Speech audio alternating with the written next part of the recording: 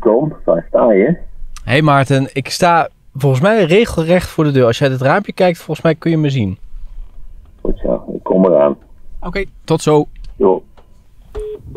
Het Verlossum, kunt u mij horen? Ja, oh, je hebt nog een flesje water, zie ik. Gelukkig. Ik kom Ja, is dat zo? Waar staat dat dan? Dat staat hier. Ah, oké. Kom maar, kom maar een eigen flesje niet. Weet je wat grappig was? Nou ja, grappig. De vorige keer reed ik weg, of de voor een van de laatste keren. En toen, toen stond het, het flesje nog on, onbedopt. Hoe noem je dat zo? Was het omgevallen. Dus er zit nu zo'n, je ziet nu zo'n mooie afdruk van het water in de bank. Misschien krijg je bij inruilen van nou, heeft wel een hele rare vlek op de achterbank. Ja, dan, ja, dan vragen ze af wat dat is. Hoe was het in Duitsland? Hoe was het in Duitsland? Even kijken. Hoe was het in Duitsland? Ja, dat is lastig te zeggen. Het was een hele prettige reis, ik kan niet anders zeggen. Eh, wat mij toch altijd frappeert, eh, in de allereerste plaats is het prachtige landschap. In, in het zeg maar zuidoosten en het centraal Duitsland. Hè, dat is een golvend heuvelland. Wat mij in de tweede plaats frappeert is de gigantische hoeveelheden bos die er in Duitsland zijn. Dat is natuurlijk als je uit een land komt waar nauwelijks bos is. Ik geloof dat wij 6% van onze oppervlakte met bos bedekt is. En in Duitsland is het bij mij weten 30%. Eh, ja, dan zie je wel dat er grote verschillen zijn. Wat je natuurlijk altijd frappeert, het klinkt stomzinnig, maar het is niet anders. Wat een ongelooflijk piepklein land Nederland eigenlijk is. Niet waar, als je daar uren onderweg bent om van de ene plek naar de andere te komen. En dan is Duitsland niet eens het grootste van de Europese landen. Frankrijk is beduidend groter. Het is ook een, en ik zwijg nog verder van de Verenigde Staten, Canada, niet waar, halve continenten bij wijze van spreken. Of neem Australië, een klein continent wat, wat ik geloof minder dan 30 miljoen inwoners heeft. Maar goed, de rest is ook onbruikbaar natuurlijk. Eh, ja, de stad, eh, en we hadden natuurlijk verkiezingen, waar je eigenlijk, afgezien van de, van de aanplakbiljetten van de diverse partijen, toch niet zo verschrikkelijk veel van merkte. Er was her en der was er op een plein een soort van, van verkiezingsparty gaande. Meestal met, eh, met een, discjockey en zo. Afschuwelijke muziek. Dat, daar moet toch gewoon een Europese partij komen. Want het is hier in Nederland al even erg. Voor die afschuwelijke muziek die overal in de publieke ruimte meestal kanonhard gedraaid wordt.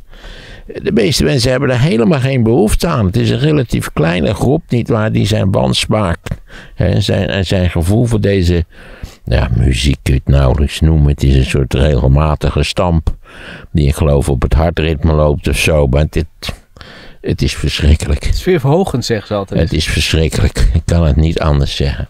Eh, Leipzig was, eh, zoals ik het mij herinner, een geweldige stad. Kan iedereen Leipzig warm aanbevelen. Vervolgens zijn we naar eh, Dresden gereden. Ik, drie jaar geleden, moet ik zeggen, was dat een heel aantrekkelijke stad. En ook dat grote plein rond de vrouwenkietje. Daar was niks mis mee. Maar tot mijn ontzetting, ik kan het niet anders zeggen, lopen wij dat plein op. En wat komt er voorbij? Een bierfiets. En dan weet je dus dat, nou ja, dat de toestand feitelijk hopeloos is. Dat die plek is overgenomen door de onbeschrijfelijke platheid en vulgariteit van het moderne massatoerisme. Dan plakken ook alle tafeltjes op de terrassen. Het is, het is, het is vies, het is armoedig, het is treurig. Het was helemaal niet zo. Kennelijk is Dresden plotseling in de greep geraakt van, van het massatoerisme. Wat natuurlijk weer opgeleefd is vanwege het einde of einde. Het is natuurlijk niet een einde, maar van de vermindering van de coronamaatregelen. Je moet in Duitsland overal zo'n maskertje op. Dus je, als je rustig een, boekhandel binnenloopt waar verder geen kip is. En je gaat daar een beetje staan kijken in de boeken. Dan komt er onmiddellijk een jonge dame op je af en die zegt ja, je mag alleen in boeken kijken als je het maskertje op hebt. Dat je niet al die vreselijke virussen in die boekjes inwalmt, als het ware. Wat valt er verder aan te zeggen van Duitsland? Eh, niet zo Het verschrikkelijk eten veel. heb je nog niet niks over Oh, het eten. Nou ja, ik moet zeggen, mijn, eh, eh, de, de leider van deze, van deze expedities, Willem Melging, die doet altijd de boeking voor de, in, in de restaurants. dan gaan wij dan met z'n tweeën eten. En dat is allemaal het allemaal prima. Oh, je gaat niet met al die andere mensen erbij. hè? Alleen de eerste dag is er een gratis maaltijd voor de hele groep. Ten behoeve van de solidariteitsvorming. en eh, daarna eh, eten wij dan met z'n tweeën. Maar het was een hele gezellige groep. Eh, ten algemeen functioneren die groepen tip-top. Althans, het is mijn indruk. Ik weet natuurlijk nooit wat ze. Maar het lijkt mij niet dat ze achteraf zeggen: Nou ja, het was of het was. Was mijn indruk helemaal niet. Volgens mij zijn ze daar heel tevreden over.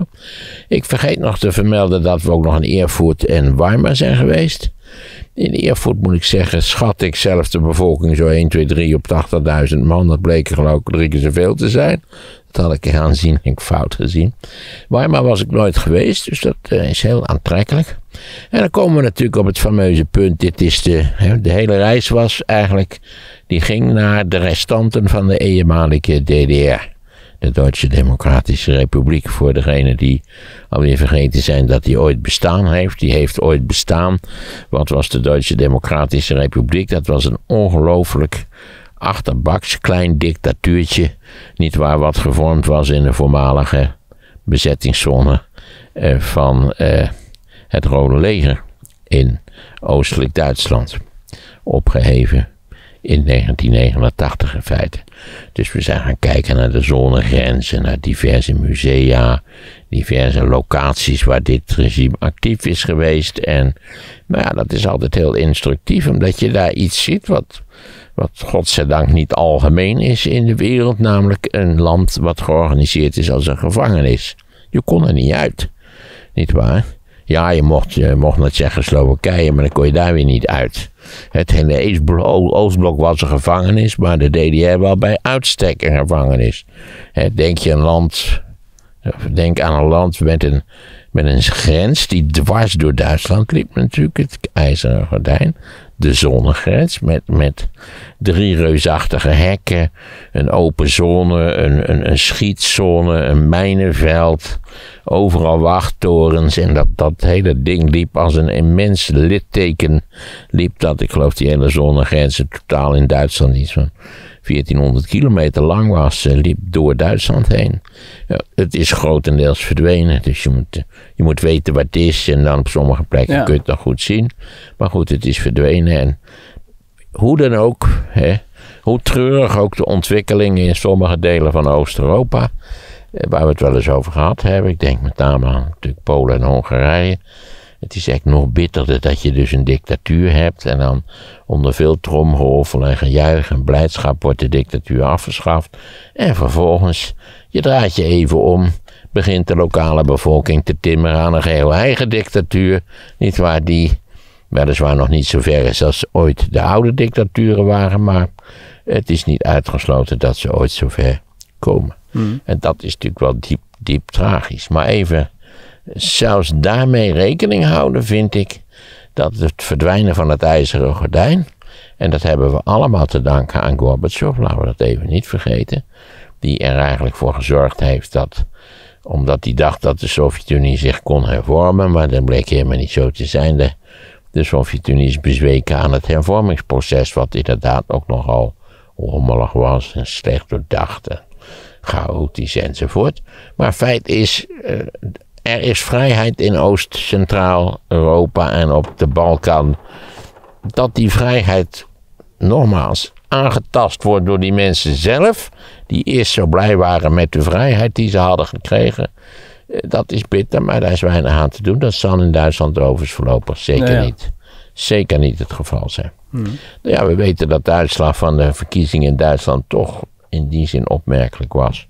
Dat de SPD, die door veel mensen al lang was afgeschreven, à la de Partij van Arbeid in Nederland, ja, dat die de verkiezing heeft gewonnen. Het was het met nippertje, maar desalniettemin. Het, het was significant. En nu moeten we gaan afwachten wat, de, wat voor coalitie er gevormd kan worden. Dus ik begreep, dat was ik ook wel verbaasd over, dat FDP en de Groenen, die trekken nu gezamenlijk op om, laten we zeggen, onderhandelingspunten te markeren. Ja. Kan ook wel even duren voordat het zover En dan is. blijft Lachette dus buiten. In dat geval wel.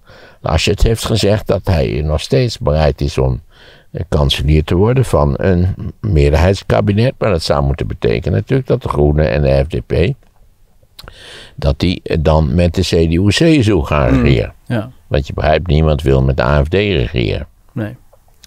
Dat is natuurlijk vreemd als je bijvoorbeeld in Turingen bent. Waar wij natuurlijk een aantal dagen hebben doorgebracht tijdens de reis. Dat het een lieflijk landschap is. Dat die steden er meestal heel welvarend uitzien tegenwoordig. En met de auto's die je rond ziet rijden is niets mis. Het zijn niet oude, verroeste Trabant. Nou ja, Trabant kon niet roesten. Daar zullen we het zo over hebben. Het ziet er allemaal tip-top uit. En in Turingen scoorde de AFD 25% van de stemmen. Na grootste partij. SPD iets groter, maar toch, het is 25% van de stemmen. En een kwart, dat vind ik wel veel voor een dergelijke partij. Dus dat ressentiment, dat leeft eigenlijk nog steeds in, in, in oostelijk Duitsland, ja. Dus na al die jaren, hè, we zijn nu 30 jaar verder, ruim 30 jaar verder. Niet waar, is het hele idee dat het vanzelf zou verdwijnen, dat is niet het geval gebleken. Ook heel sterk als je kaartjes ziet in de krant, waarbij sociaal-culturele kwesties eh, in beeld worden gebracht. Bijvoorbeeld vaccinatie of weerstand tegen vaccinatie, dan knalt die oude DDR, die knalt eruit als het ware. Dan zie je dus dat die als een soort spookverschijning Ja. nog steeds aanwezig is. Maar je hebt in Duitsland natuurlijk ook wat jij hier de 15% noemt. Dat heb je daar natuurlijk ook. Ja, die heb je ook in Duitsland, maar dat ligt natuurlijk, eh, in Duitsland ligt dat in zoverre anders dat natuurlijk de DDR eigenlijk het, het een betrekkelijk groot gebied is met een afwijkend electoraal patroon. Bijvoorbeeld als je kijkt naar de, eh, het electorale optreden van de AFD, dan zul je zien dat die aan, in het oosten, zeker in het zuidoosten, hoog is. Turingen 25%. De laagste AFD-stemmen waren bij de laatste landelijke verkiezingen, dacht ik, in Münster. Wat vlakbij Nederland ligt. Ja, ik wou net zeggen, in Nederland heb je toch ook dat soort aparte regio's? Ja, zeker. Zeker. Als je vooral de periferie natuurlijk in Nederland, Oost-Groningen, eh, een stuk Drenthe, Zeeuws-Vlaanderen, Limburg, een hele provincie in de periferie, nietwaar? Die vertonen inderdaad afwijkend electoraal gedrag. En, en, en dat is meestal in de zin dat ze een wat grotere voorkeur hebben voor populistische partijen dan het electoraat in de rest van het land. Ja. Of zij voelen zich niet gehoord, zij voelen zich vergeten, zij voelen zich periferie, ze zijn ook periferie. Maar in plaats van er het beste van te maken in de periferie, nietwaar, zijn ze vooral altijd boos dat ze in de periferie zitten. Maar ja, dat doe je niet veel aan. Nee. Ik heb wel een tip voor mensen in de periferie. Als u zegt van ja, het is hier niet te harde in de periferie, verhuis naar het westen. Het probleem is alleen als u uw huis in de periferie verkoopt, dan is het lastig om een huis in het westen te kopen. Dat, dat is het probleem. ja. Hé, maar de AFD, dat zijn toch geen naties? Zo erg zijn ze toch niet? Nee, maar dat is een. Het is de stem van een vrij onaangename rechts. eh, ressentiment. Dat, dan, anders kun je het niet noemen. Die partij is natuurlijk heel gek begonnen. Die partij is begonnen, eh, gestart door een professor. die van mening was dat Duitsland uit het eurogebied zou moeten treden. Omdat het naar zijn inzicht eh, eh, de Duitse economische positie niet gediend was met onderdeel te zijn van, de euro, van het eurogebied. Dat, ik, dat punt verschil ik van mening met deze professor, zonder dat ik verder zelf een econoom ben. Maar je weet dat het vaak heel nuttig is om van mening te verschillen met economen. Die hebben namelijk weer een eigen wonderlijke, eh, hoe moet je dat zeggen, reality bril op. Ja. Mag ik daar ook eens iets over zeggen? Over die, die virtual reality bril waar je mensen daar soms mee ziet. Wat een lulkoek. Waar is dat in godsnaam goed voor? Wat is er mis met de werkelijkheid? Ik kijk nu naar buiten. Het regent. Het is lekker fris. Het is herfstig weer. Er ligt blad. Waarom moeten we een, reality bril op? Een virtual reality bril. Ik vind dat stukken kul. Hoe kom je daar nou opeens op? Heb je dat ergens gezien of zo? Nee, ik weet niet. Ik moet er ineens aan denken. Van Omdat ik dacht aan, die, aan, die, aan het feit dat, dat veel mensen een ander soort van realitybril op blijken te hebben. als die welke ik zie. zonder dat ik een realitybril, een virtual realitybril op heb. Ja. Maar ik vind het hele stomzinnige idee dat je voortdurend naar een virtual reality zou moeten kijken. Wat is er mis met de realiteit? Met prachtige landschappen, met ondergaande zonnen. Dat je zo'n achterlijke bril op zou moeten zetten. Hè? Want je ziet er ook uit of je niet goed snik geworden bent als je zo'n ding opzet. Heb je wel eens op gehad? Ja, één keer. Dat, dat was in. Maar ja, god, dat, dan dwalen we wel heel ver af. Maar onder het Domplein is een soort museum gemaakt. Waarin je kunt zien, nietwaar, hoe complex gelaagd dat, dat deel van Utrecht is als gevolg van een lange geschiedenis. Die natuurlijk ondertussen meer dan 2000 jaar omvat. En ze hebben ook een programmaatje. En dat kun je zien door een virtual reality bril. Hoe het eruit zag in pak een beet. Het jaar 500, het jaar 0, het jaar 1000 enzovoort. Hele leuke plaatjes. Maar ik begrijp dat het ook een veel breder iets is, die virtual reality bril. En dat irriteert mij. Virtual reality. Ja, je kunt in de Net, als die computerspelletjes. Die- Soms zie je dat. Die, zie je zo'n dit beeld van. Het, kan dat niet beter? Waarom ziet het er ook zo klunzig uit allemaal? Hè? Klunzig. Ja, klunzig, getekend, houterig. Dat je denkt, hoe, hoe kun je nou iets spelen wat zo, zo, zo amateuristisch eruit ziet? Gamers hebben... Oh, Gaat die verrekte telefoon, ben ik weer vergeten. wanneer zei ik... Momentje.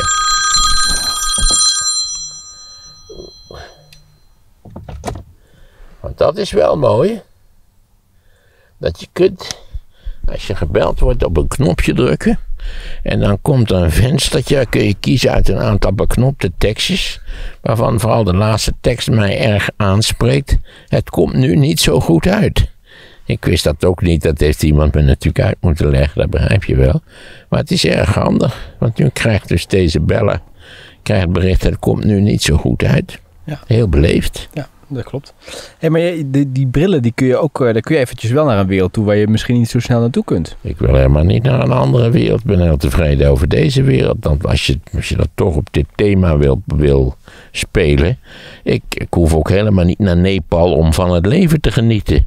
Hè? Of de, onder, de zon te zien ondergaan boven de Andes. Dat hoeft voor mij helemaal niet. Of naar de Gili-eilanden. Ja, of de Fiji-eilanden, of weet ik het wat. Ik begrijp ook niet iets van die, die hysterische reislust die onze cultuur bevangen heeft. Ja, ja. Eh, Er zijn, ook, eh, er zijn ook mensen die bij games zeggen... het is heel educatief, want je leert er heel veel van. Ik geloof er geen flikker van. Lees een goed boek. Dat is ook eens voor de game toch. Met je, moet je hersens ook bij gebruiken als het, als het een beetje Ja. in orde is. Ja. Hey, was er nou in, in Ja, Duitsland... mag voor mij wel. Wacht even. Ik bedoel, ik, ik, vind het irritant. Maar ik wil, als mensen het leuk vinden, laten ze vooral hun gang gaan. Iedereen heeft het volste recht om zijn leven op geheel eigen wijze te verpesten.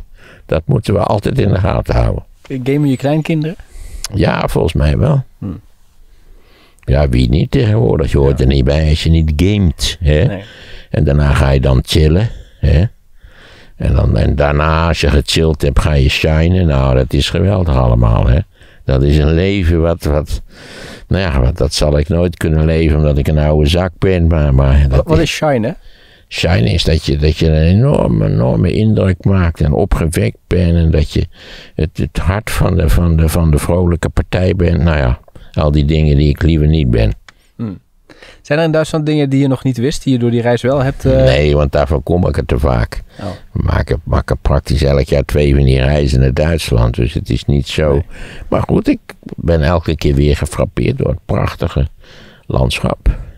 Eh, wat er toch fijn bij ligt. Niet, niet slordig is. Eh, ik weet niet of daar speciaal werk van wordt gemaakt. Maar ja, het is een schitterend land om te zien. Ja. Hey, er zijn eh, mensen die zich vragen zich af, heeft Van Rossum een eh, glazen bol op zijn studeerkamer staan? Want met 9-11 had je gelijk. En nu met de coalitie heb je ook altijd gezegd, het wordt gewoon voortgezet. En nou ja, voilà. Nee, ik heb op mijn studeerkamer geen glazen bol. Daarvoor is ook geen ruimte te midden van die totale chaos die daar heerst. Eh, Ik heb mijn hoofd is namelijk een glazen bol. Zo zou je het het beste kunnen zien. Omdat ik inderdaad ja, vanaf een relatief vroeg eh, stadium aan zag komen dat de Rutte koerste op, op eh, de voortzetten van het zittende kabinet.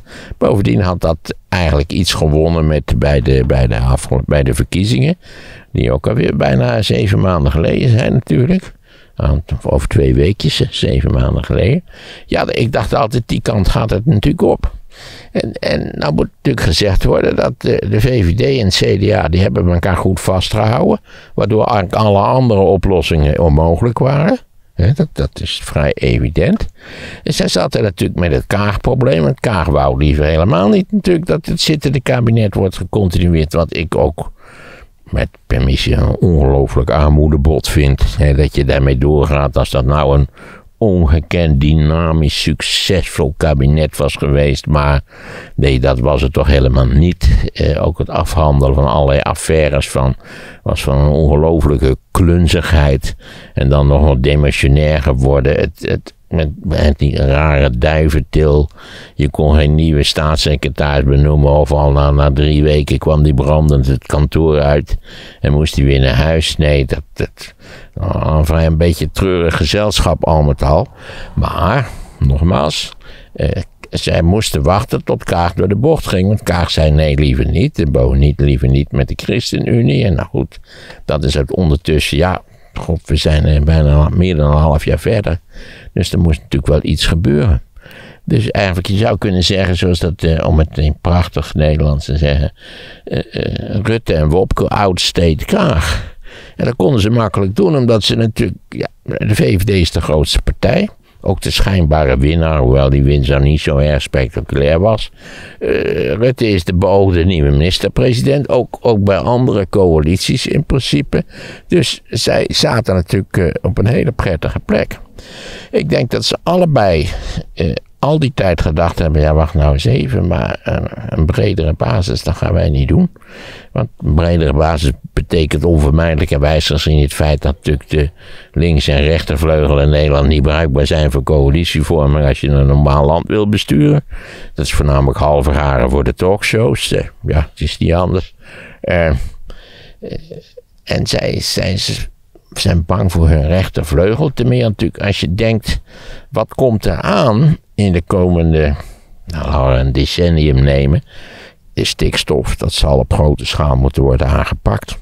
Dat zal allerlei dwangmaatregelen tegen de Nederlandse landbouw noodzakelijk maken. Nou ja, je ziet het CDA al van kleur verschieten. Wat een verschrikkelijke toestanden. De klimaatagenda natuurlijk, daar zal echt werk van moeten worden gemaakt. Dat is ook, je kunt zeggen, nou weet je wat, we kijken de hele tijd de andere kant op. Misschien is het dan wel weg. Nee, want dan krijg je dat, die hele agenda gedoe, krijg je. Ja, we hebben ons verplicht om het te doen dat wij voortdurend regeringen hebben die zich wel tot iets verplichten, maar voor de rest verder geen zak uitspoken, dat is wat anders. Maar die, de komende tien jaar zal er wel iets worden gedaan. En dat zijn allemaal punten in feite die natuurlijk niet lekker liggen bij de VVD en het CDA. He, denk toen, toen er even sprake was van een iets bredere coalitie, dat die rechtervleugel van de VVD, die natuurlijk gewoon aardsconservatief is, veel conservatiever dan Rutte zelf, die meer een operator is dan, dan een, een echte aardsconservatieve figuur. Al, houdt hij natuurlijk rekening met die rechtervleugel. Die zijn toen al te hoop gelopen. En goed, dan begint de telegraaf te schrijven. En zo. Ja, je kent het recept wel. Dus zij dachten, eh, wij blijven hier rustig zitten. We zeggen steeds, nee, nee, dat gaan we echt niet doen. En vandaar mijn idee dat, dat dit voor het CDA en de VVD de enige aantrekkelijke oplossing is, willen ze greep houden op dat veranderingsproces wat zal moeten worden ingezet, zelfs door hen twee. Maar anders zouden ze veel scherper onder druk kunnen worden gezet door eventuele coalitiegenoten. Hmm. Dus als je er even over nadacht, en dat kwam natuurlijk bij het CDA dik verloren. Wopke wil waarschijnlijk toch weer minister van Financiën worden, wat ik hem niet gun. Ik gun het hem niet.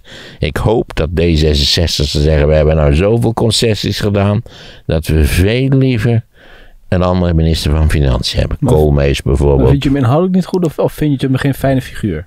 Ik vind hem geen fijne figuur. Ik heb niet de indruk dat, uh, dat Wopke een aanwinst is voor de Nederlandse politiek.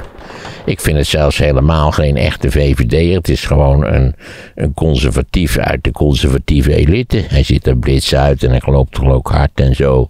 Al die dingetjes die er tegenwoordig bij horen. Of je conservatief bent, ja of nee.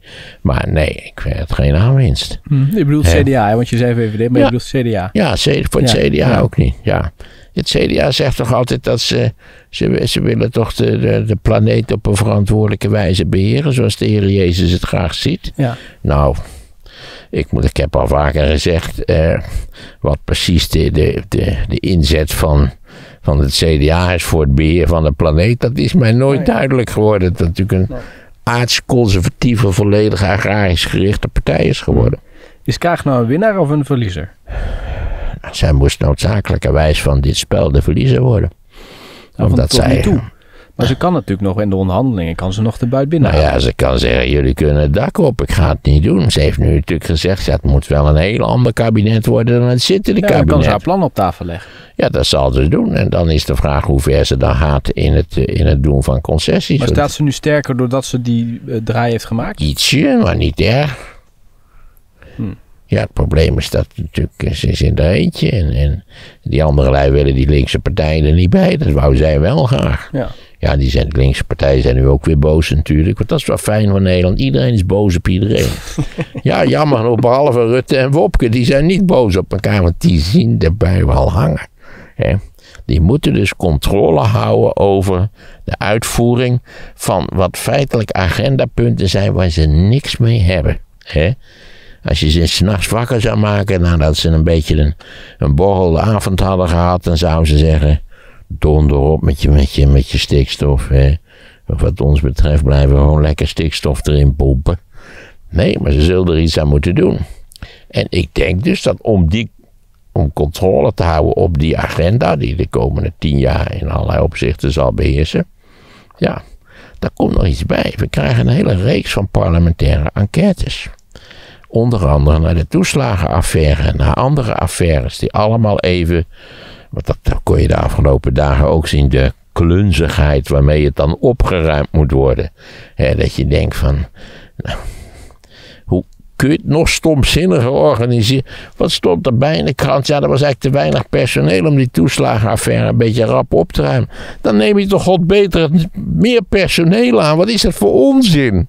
Er was geen personeel. Maar die Nou ja. ze niet. Het personeelstekort overal. Nou, dan betalen ze maar wat beter. Waarom zijn overal, is er overal personeelstekort? Niet waarom dat de meeste belazerd betaald wordt. Er wordt in het onderwijs belazerd betaald. Er wordt in de zorg belazerd betaald. En ik denk dat het lagere ambtelijke, ambtelijke niveau ook belazerd betaald zeggen, wordt. de mensen zijn er niet, de geschikte mensen. Nou, dat betwijfel ik in hoge mate. Die werken bij allerlei bij bedrijven waar ze aanzienlijk meer geld kunnen verdienen. Dat zal het toch wel zijn. Je weet dat er veel meer mensen in principe gediplomeerd zijn om onderwijs te geven dan er daadwerkelijk onderwijs geven. Als al die mensen zouden besluiten om te gaan doen waarvoor ze zijn opgeleid, dan is dat hele tekort in de onderwijssector opgelost. En waar zitten die dan, die niet voor de Weet klas ik staan? veel, die zitten bij, eh, weet niet, waarschijnlijk virtual reality bedrijven. Die zitten allemaal met zo'n klote bril op. Hè, zoiets dergelijks waarschijnlijk. Nee, die zijn er wel. Alleen, ja, als je ze niet goed betaalt, dan komen ze niet. Dat is toch heel begrijpelijk, of niet? Oké, dus meer geld moet de Belastingdienst betalen. Nou, sowieso, het loongebouw, dat eh, kan best wel wat, eh, wat activiteiten gebruiken. Hmm. Maar kan dat bij de overheid? Want ze moeten natuurlijk wel een beetje... Bij de overheid kan dat prima, daar moeten die bonden voor zorgen. Ja. Nog eventjes terug naar eh, Kaag. Ehm, jij hebt erop gestemd. Ik heb er ook op gestemd. Ben jij nou... Hoe, wat is het sentiment nu je ziet wat er gebeurd is? Nou ja, kijk, ik heb, eh, ik heb helemaal niet op Kaag gestemd. Nee. Ik heb gestemd Oh, op op deze- D66. Haar partij, ja. We hebben het daar vaak over gehad. Mijn indruk was dat het bestaande kabinet toch gewoon terug zou komen. Dat wist je al toen je ging stemmen. Ik had een vermoeden, laat ik het zo zeggen. En, en nadat ik de uitslag had gezien, wist ik vrijwel zeker dat, dat Rutte het daarop aan zou laten komen. Probleem is natuurlijk dat wat ik niet wist, is dat Rutte in enorme politieke problemen zou raken door die bekende notitie eh, omzichtfunctie elders. Wat overigens vanuit het perspectief van het CDA gerealiseerd is, want hij is nu eh, een, een eenzame geest in, in de Tweede Kamer. Eh, nee, ik heb op D66 gestemd omdat ik het vermoeden had dat, dat dit kabinet gecontinueerd zou worden. Of althans dat, dat in ieder geval een rechtsgeoriënteerde regering gecontinueerd zou worden. En dat ik dus het vermoeden had dat de enige progressieve factor in dat, in dat nieuwe oude kabinet, dat dat D66 zou zijn. En dan was er voor mij natuurlijk nog een belangrijk zwaarwegend punt, zeer zwaarwegend in mijn geval. Namelijk dat D66 van al die partijen de enige is die openlijk pro Europese Unie is. Want je weet dat de VVD en CDA ook altijd net doen alsof dat niks is. En ja, kost geld. En, en ja, oeh jee. In feite zijn ze, weten, weten ze net zo goed als jij en ik dat, dat dat een onvermijdelijke zaak is. Wat, dat we ons daaraan moeten committeren. Maar ze doen altijd, nietwaar, ook weer uit vrees voor de bekende rechtervleugel. Eh, alsof het allemaal verschrikkelijk is en duur is en anders zou moeten. En wat is met, nou, daaruit, dat hoor je niet gauw van CDA, VVD, maar Nou, eh, je hebt ook in Nederland ook allerlei denktanks. Bij mijn weten is Klingendaal ook niet erg pro-EU bijvoorbeeld. Dat vind ik heel bezwaarlijk. Maar het is wel zo. Dus ja, dat was mijn reden om op D66 te stemmen. Ik, ik, dacht je nou echt dat ik zo naïef was dat ik geloofde in nieuw leiderschap? Dat ik geloof in die onbeschrijfelijke lulkoek over transparantie? Nee, natuurlijk. Daar geloof ik verder allemaal geen hout van. Maar ik vind wel dat het landsbestuur wat efficiënter zou kunnen. En misschien daardoor iets doorzichtiger zou moeten zijn, maar ook weer niet te doorzichtig. Want dan loopt alles vast in ruzie en, en in wederzijdse Ja, verwijten. Maar dat natuurlijk de, het landsbestuur in Nederland in de afgelopen 10, 15 jaar is slordig geweest. Er zijn naar mijn idee hele grote fouten gemaakt. Of je nou naar de toeslagenaffaire kijkt of naar andere affaires. Eh, dat zou ook gecorrigeerd moeten worden. En dat, daar ook, ook dat zou een belangrijk thema moeten zijn voor deze nieuwe regeringsploeg. En omdat, het, omdat eigenlijk de, de naaste toekomst er voor, voor rechtse partijen in Nederland eigenlijk niet vreselijk gunstig uitziet, was het voor die rechtse partijen essentieel om controle op de zaak te houden. Ja. Maar dus is, als ik het je goed beluister, is het nog te vroeg om te concluderen of je teleurgesteld bent in D66. Daarvoor moet je zo meteen het controle. Nou, ik ben op een leeftijd dat. Ik ben op een leeftijd dat, dat teleurgesteld in de politiek. Dat komt. Nou, PvdA was je toch ja, daar was ik over. Dat, eh, Rutte 2, daar was ik bitter over teleurgesteld. Ja, dat is een, een fout geweest. Die zullen ze met zich mee moeten dragen. En die zou gecorrigeerd ook moeten worden. Maar dat zal in feite, naar mijn idee, niet gebeuren. Maar ben ik nu teleurgesteld? Nee. nee. Ten meer omdat ik natuurlijk electoraal ben ik een, een verwezen zwerver geworden. Hè? Een, man die, een man die voortdurend eh, onder een anderhalf dakje moet gaan slapen. Ja, dat is eigenlijk een hele trieste zaak natuurlijk. Ja, vind je eigenlijk dat eh, PvdA en GroenLinks het handig hebben aangepakt? Nou, misschien niet. Maar hoe ze ook als ze het ongekend handig hadden aangepakt. En ze waren in, in, in kostuums voor de camera gekomen. waarin ze niet meer herkenbaar waren, zal ik maar zeggen. Dan was het, eh, had het nog geen enkel effect gesorteerd. De kans dat, ze, dat, de kans dat Rutte en Wopke een, een brede coalitie zouden hebben geaccepteerd. waarin D66 en de twee linkse partijen zouden hebben gezeten. die leek mij nul.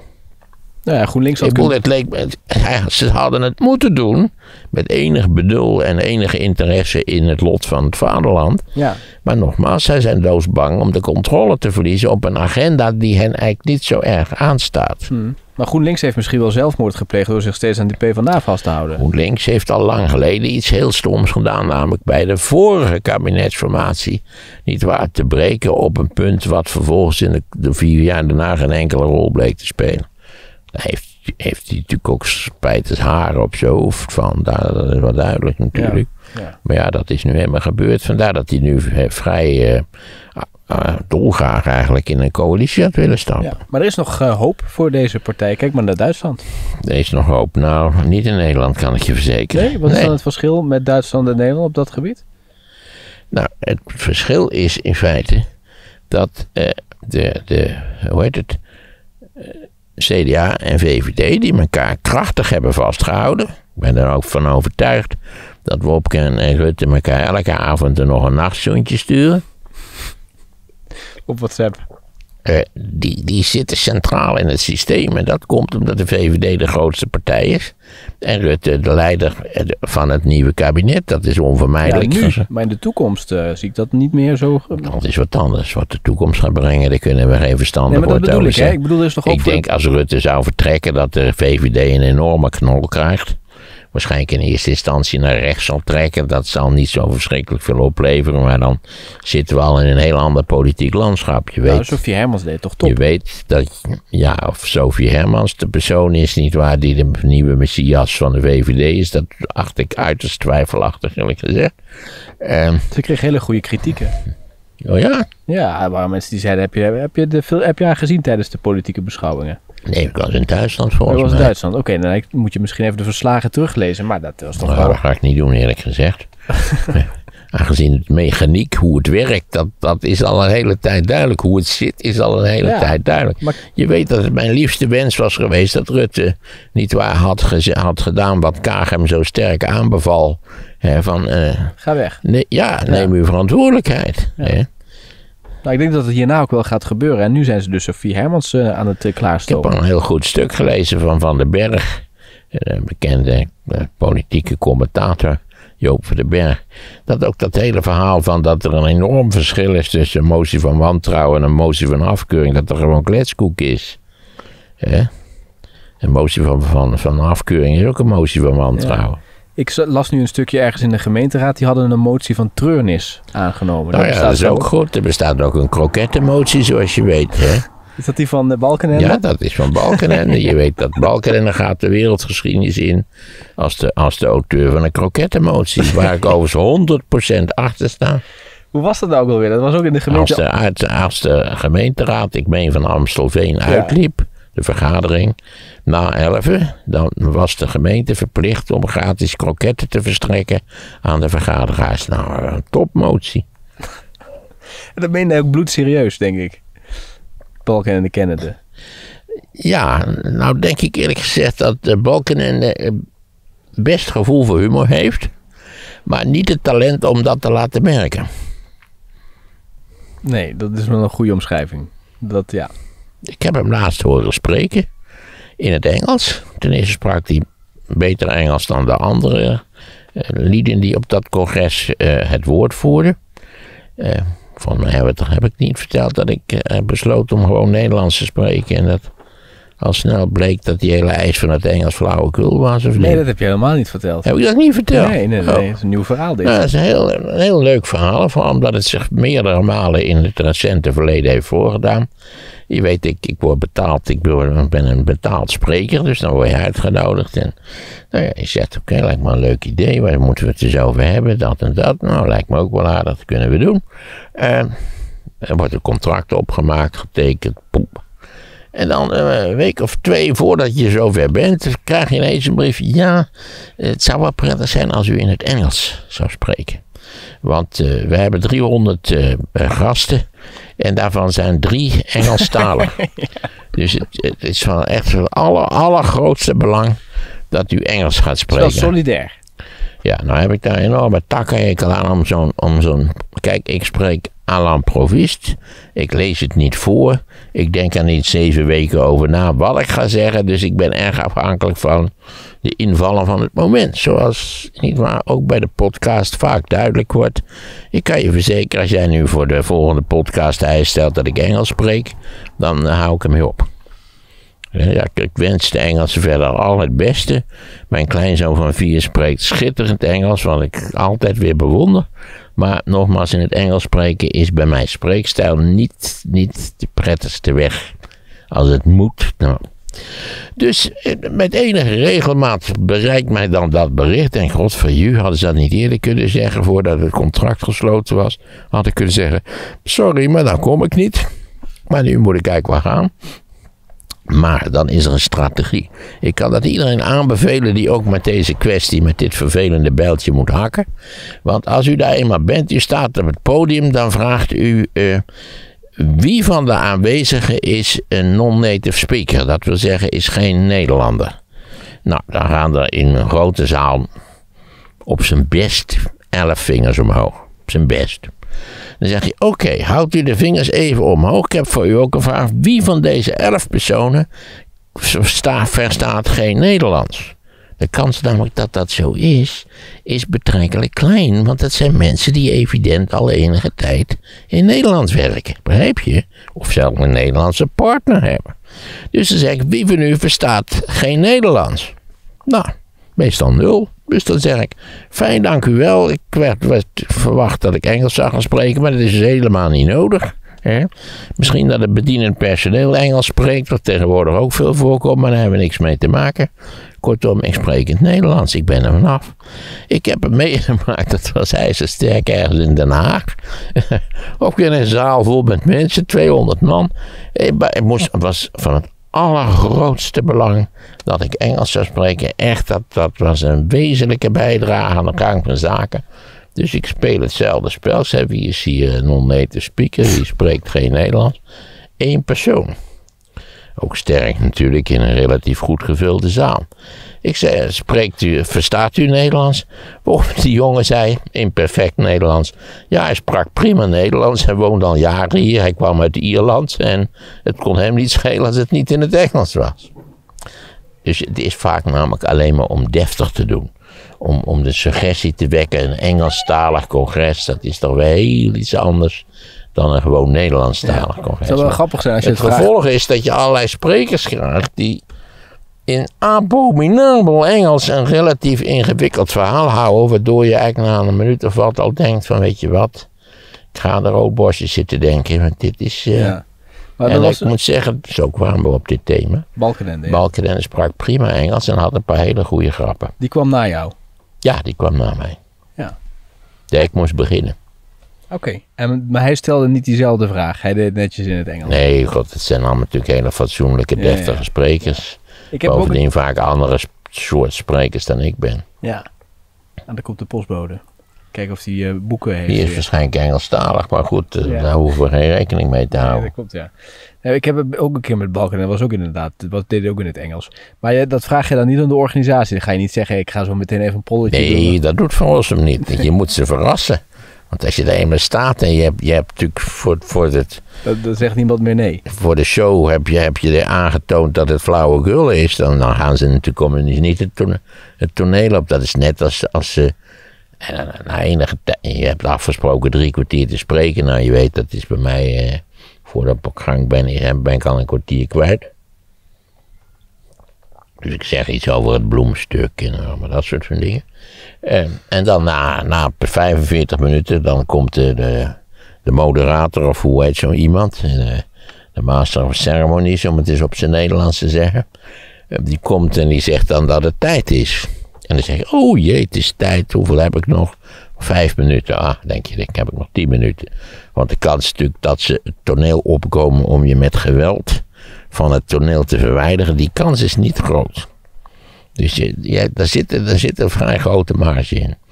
Waar ik graag gebruik van maak. Ja. Misbruik is het woord. Ja. Maar het zou grappig zijn als je die vraag een keer stelt en dan, dan gaan alle handen de lucht in van we zijn allemaal Engels. Ah, dan zou ik zeggen van wie is hier Duitsstalig? dan ga je het in het Duits doen. Doe ik het in Duits. Oké, want dat kan wel. Nou, niet dat mijn Duits groot is, maar ik kan wel een korte lezing in het Duits. Zou ik zou het wat korter houden, maar Ja. dat zou wel kunnen, ja. Het, het is Nederlands-Duits, maar het is goed te volgen, ook Ja. voor Duitsers.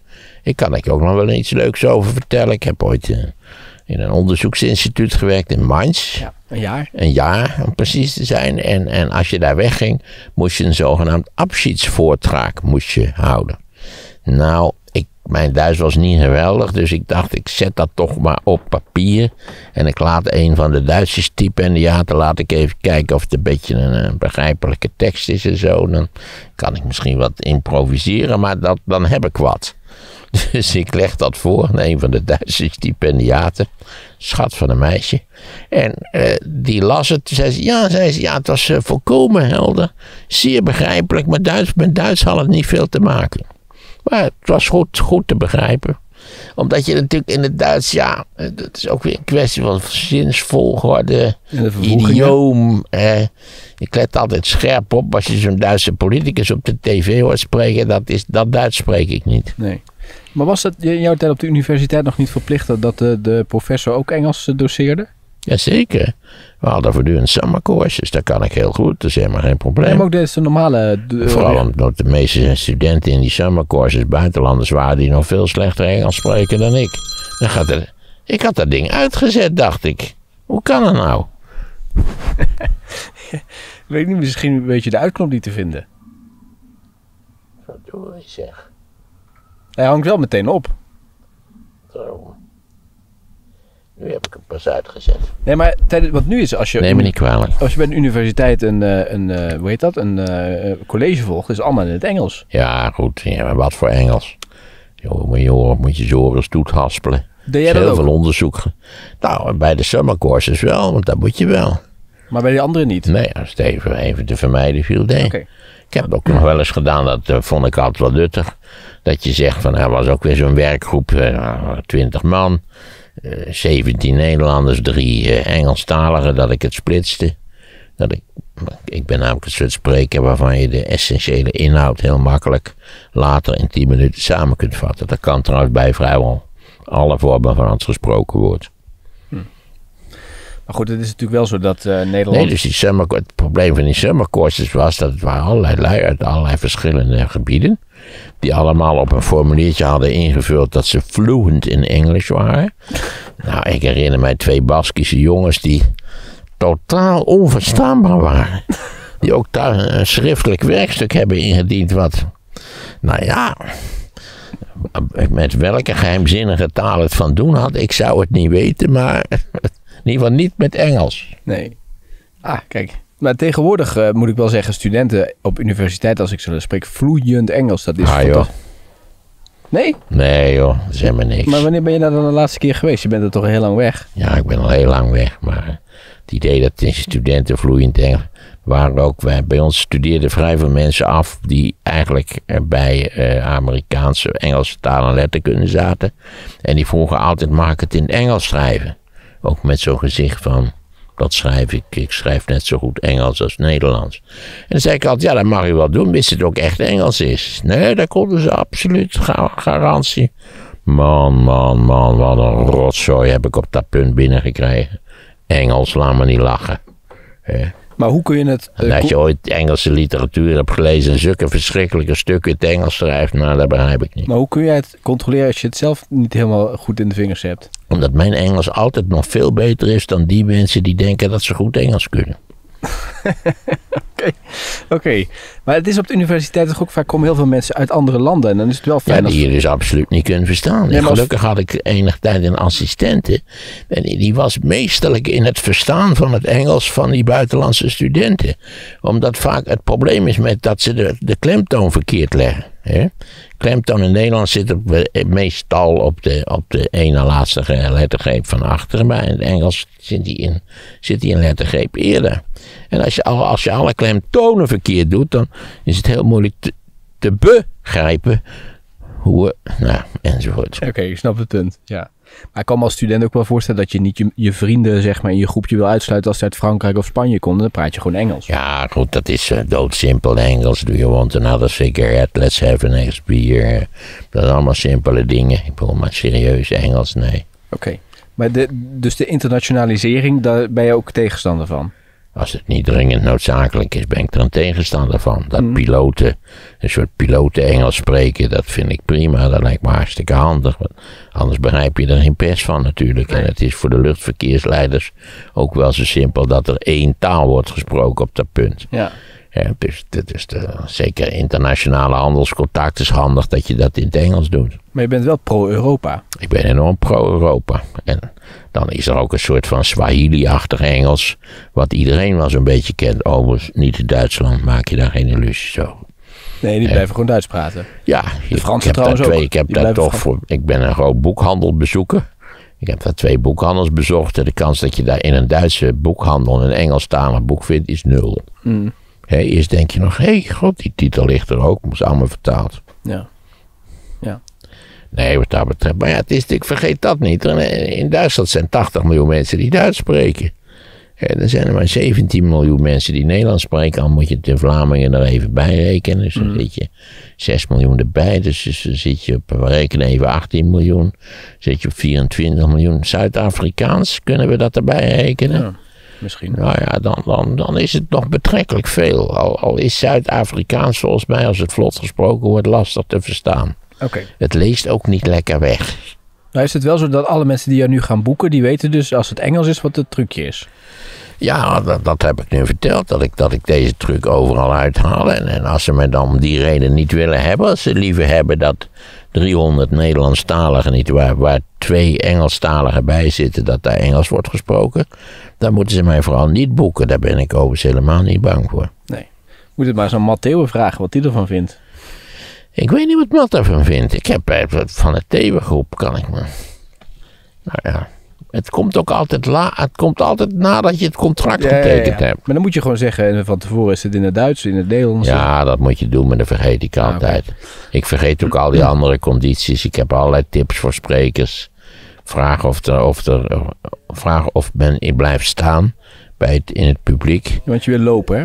Ja, ik wil lopen, maar blijft men staan? Kan er gedronken worden tijdens de lezing?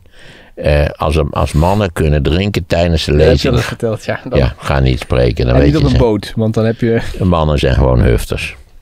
Oké. Zeker wanneer ze wat gedronken Ja. hebben. ja. Hey, we hadden nog die data, hè, voor de, over, nu moet ik daar ineens aan denken, met, dat, met die live podcast. Moet ik daar nog even een keer doorsturen. Weet je dat nog? Eh, live podcast. Ja, dat, wat was het ook alweer? Dat was toch In januari. Oké, dagen. god, ik heb alweer. Stuur het me dan even nu door, dan kan ik zo kijken dat ik niet weer. Ik had allerlei dubbele afspraken gemaakt. Oh, voor daarvoor.